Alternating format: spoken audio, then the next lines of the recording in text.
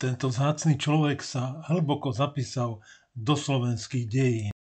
Owszem, znałem kardynała, gdy przychodził do Ojca Świętego. Poznal som kardinála prostredníctvom svätého Otca. A także Ojciec Święty odwiedził Stretávali sa často. to miejsce. Pre mňa to bol národný hrdina a navždy to tak zostane.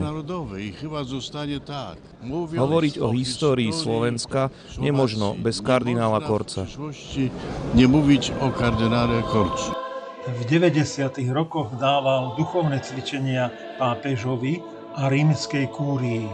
V roku 1996 vyriekol Ján Pavol II tieto prorocké slová. Slovensko osobitnú úlohu pri budovaní Európy tretieho tisícročia. Dobre si to uvedomte.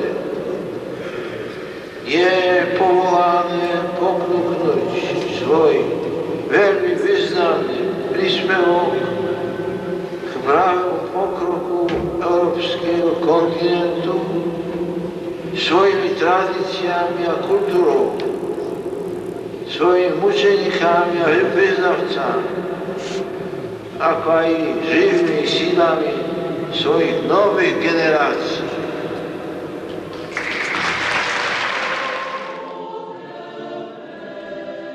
Na pohrebe sa s ním rozlučili tisícky Slovákov.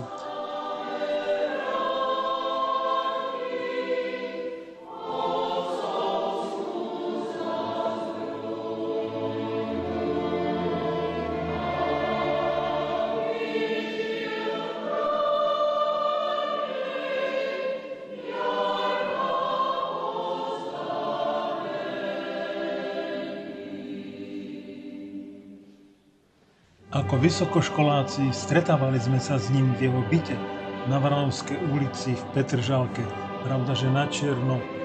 Raz dokonca prišiel za nami, za skupinou mladých, ktorí sme boli v Tatrách, priamo z Ríma a ukázal nám vzácnosť insignie, ktoré dostal priamo od vtedajšieho svätého otca Pavla VI.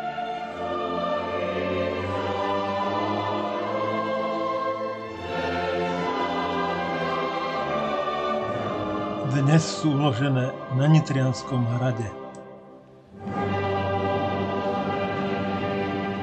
V decembri 2010 sme si na to zaspomínali v jeho nitrianskej rezidencii a požehnal vtedy úsilie Matice Slovenskej o obrodu nášho národa.